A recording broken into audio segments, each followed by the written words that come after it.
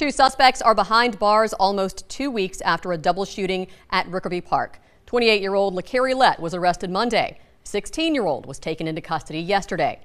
On March 3rd, Mobile police were called to the park off DIP at Government Street and found two victims who were rushed to a hospital for possible life-threatening injuries. Officers have not given us an update on how they're doing now.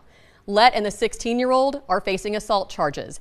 At the time of this shooting, Lett was out of jail on bond after an arrest for a 2021 murder.